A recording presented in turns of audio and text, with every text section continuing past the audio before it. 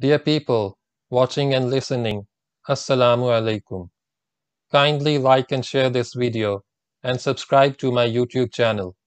Please support my channel by contributing to my Patreon account so that I can continue making the audiobook series. Tipu Sultan, who was the ruler of the kingdom of Mysore in South India, during his reign used to write down his dreams. They were penned down by Tipu himself in Persian language dating from 1785 to 1798. The penned down dreams are 37 in total.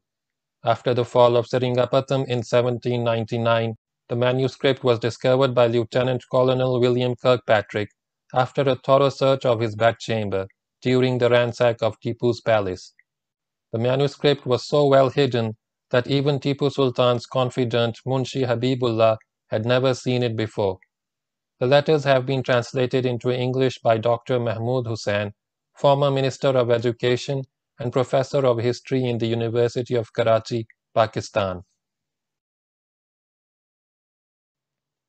Dream 25 The Nizam's Minister On the 14th of the month Bahari of the year Hirasat 1224, from the birth of Muhammad, on the night of Saturday I had a dream. I saw Asad Ali Khan come to me. He submitted that he had come after conquering the territory of Kotaba. He offered his services with 4,000 horsemen if only I would have him. I indicated my acceptance of the offer, but in addition to the service of 4,000, I asked for an yearly present.